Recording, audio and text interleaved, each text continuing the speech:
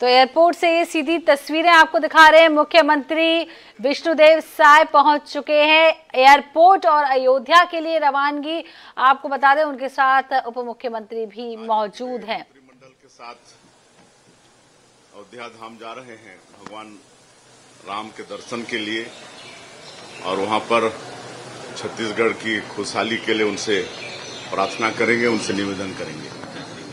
और बाकी वहाँ भी लेके जा सबरी का पानी हाँ। बेर तो फ़ेमस है।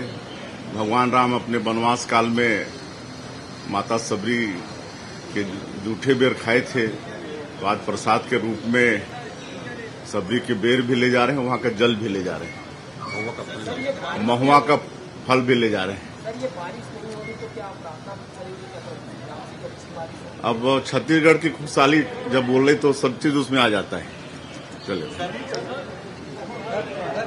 तो आप सुन रहे थे मुख्यमंत्री विष्णुदेव साय को और तस्वीरें हम आपको एक्सक्लूसिव दिखा रहे हैं। एयरपोर्ट पहुँचे हैं और काफ़ी खुश नज़र आ रहे हैं। अपने पूरे मंत्रिमंडल के साथ अब अयोध्या के लिए रवाना हो रहे हैं। विशेष विमान से अयोध्या पहुँचेंगे। रामलला के दर्शन करेंगे। पूजा अर्चना की जाएगी और अयोध्या पहुँच रहे हैं।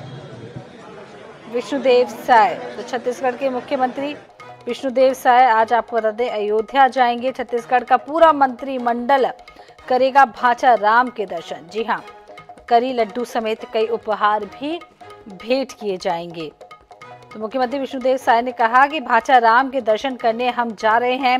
मुख्यमंत्री इस मौके पर माता शबरी की धरती कहे जाने वाले शिवजी नारायण से बेर फल से भरी टोकरी भी उपहार के रूप में रामलला को भेंट करेंगे। आपको बता दें कि 22 जनवरी को राम मंदिर की प्राण प्रतिष्ठा के बाद से ही चर्चा थी कि मुख्यमंत्री साय सभी मंत्रियों के साथ अयोध्या जाएँगे। सीएम साय ने भी कहा था कि जल्द ही पूरे मंत्रिमंडल के साथ अयोध्या जाएँगे। साय सरकार का ये अयोध्या दर्शन कार्यक्रम एक दिन का ही होगा। शाम तक सभी मंत्री लौट आएँगे। वहीं इसे छत्तीसगढ़ कांग्रेस ने नौटंकी भी हालाँकि बताया है। तो क्या क्या भेंट करने वाले ये भी आपको बता दें। बेर के फल की टोकरी, इसके अलावा विष्णु भोग चावल ले जाया जा रहा है, कोसा का वस्त्र ले जाया जा रहा है, करी के लड्डू ले जाए जा रहे हैं, अनरसा और सीताफल। यानी कि ये सारी चीज़ें हैं। जो रामलला को भेंट करेंगे छत्तीसगढ़ के मुख्यमंत्री। एक बार फिर से आपको बता दें, बेर के फल की टोकरी जो शिवजी नारायण मंदिर से लाई गई है, विष्णु भोग चावल जो छत्तीसगढ़ का सबसे प्रसिद्ध चावल है, वो भी रामलला को भेंट किया जाएगा। कोसा वस्त्र जो छत्तीसगढ़ में ही बनता है और उसे भी रामलला को भेंट करेंगे। करी लड्डू, अनारस अनरसा और सीताफल, यानी कि ये सब चीज़ें राम लला के लिए, राम भगवान के लिए ननिहाल से जा रहा है।